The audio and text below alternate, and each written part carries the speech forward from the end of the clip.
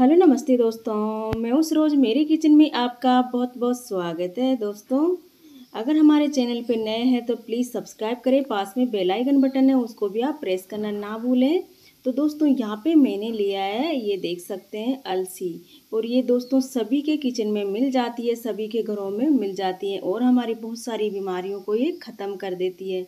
अलसी एक ऐसी चीज़ है दोस्तों की बहुत ही ईजी तो मिल जाती है बट इसके फ़ायदे हैं ना बहुत ज़्यादा हैं, बहुत ही ज़बरदस्त हैं। इसके फ़ायदे मैं आपको जितने भी बताऊँगी ना, उतने कम पड़ जाएँगे, इतना फ़ायदा करती है। ये मार्केट में बहुत ही ईजिली मिल जाती है। तो ये अक्सर सभी के घरों में होता है तो यहाँ पे देख सकते हैं मैंने अलसी को गैस के ऊपर रोस्ट करने के लिए रख दिया है, क्योंकि अलसी दो प्रकार की होती है दोस्तों। एक तो होती है रोस्ट, जो रोस्ट की हुई आती है मार्केट से ही, और एक बिना रोस्ट किए हुई आती है।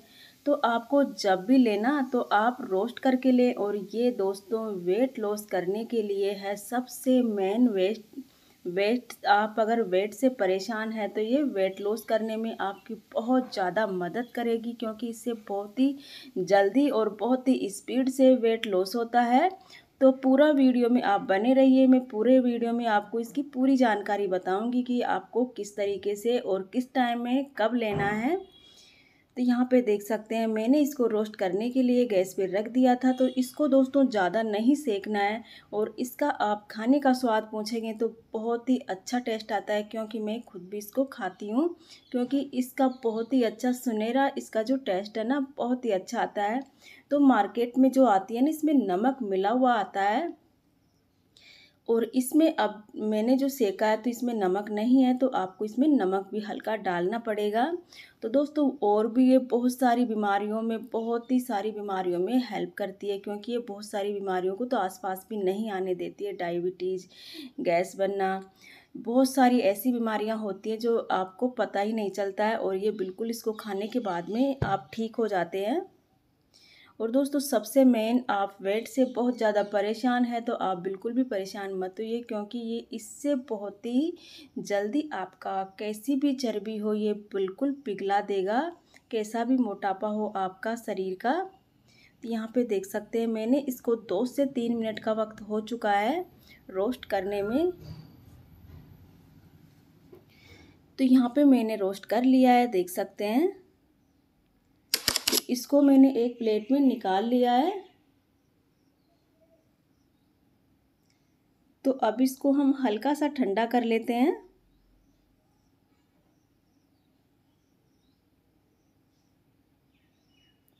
तो यहाँ पे देख सकते हैं, मैंने इसको ठंडा कर लिया है।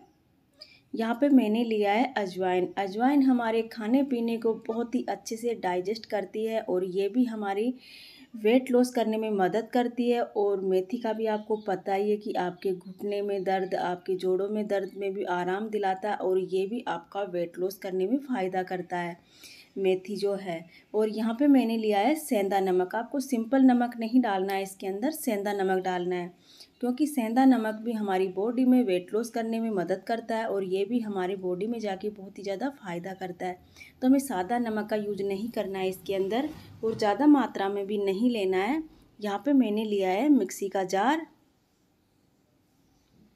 तो इसमें अब हम सभी चीज़ों को डाल देते हैं।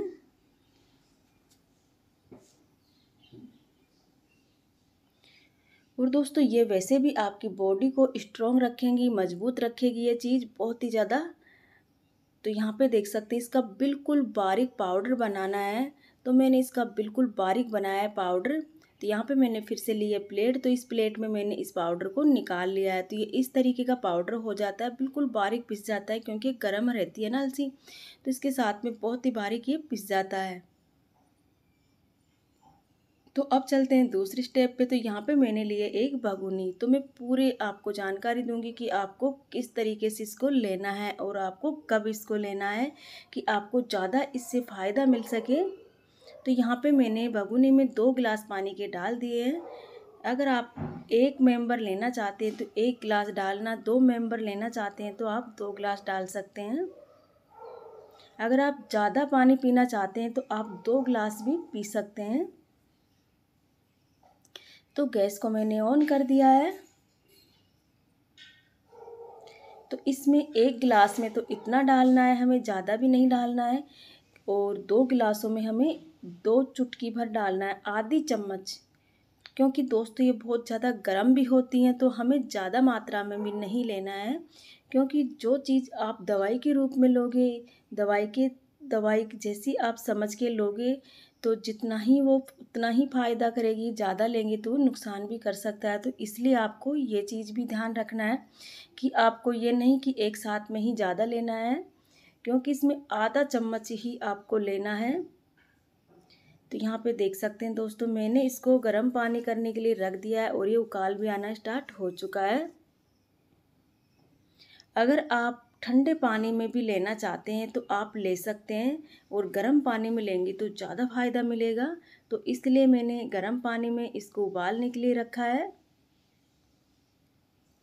तो ये पानी अच्छे से गर्म हो चुका है और इसको हमें नॉर्मल टेम्परेचर का तब हो जाए इतना ठंडा करना है।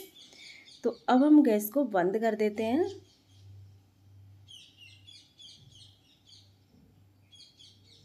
तो यहाँ पे देख सकते हैं। गैस को मैंने बंद कर दिया यहाँ पे मैंने लिए दो गिलास।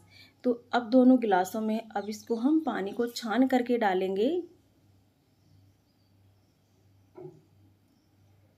तो यहाँ पे देख सकते हैं, मैंने इसको छान लिया है और आप छान करके भी पी सकते हैं या वैसे भी पीना चाहते हैं तो आप वैसे भी पी सकते हैं। आपको जैसा अच्छा लगे आप उसी तरीके से इसको पी सकते हैं। क्योंकि अगर आप छान के पीना चाहते हैं तो वो फ़ायदा तो दोनों उतना ही करेंगे। आपको जैसा इजी लगे, आपको जैसा अच्छा लगे, आप उसी तरीके से पीना है। बट आप बिल्कुल भी मत घबराइए कि आपका वेट ज़्यादा है तो आपका ये बहुत ही ईजी तरीके से, बहुत ही जल्दी आपका वेट कम हो जाएगा इससे।